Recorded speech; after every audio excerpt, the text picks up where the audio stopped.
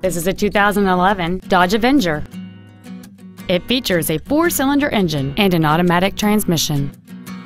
Features include aluminum wheels, a low tire pressure indicator, cruise control, a leather-wrapped shift knob, a Sentry key theft deterrent system, tinted glass, a stability control system, disc brakes with an anti-lock braking system, a power driver's seat, and this vehicle has fewer than 12,000 miles on the odometer.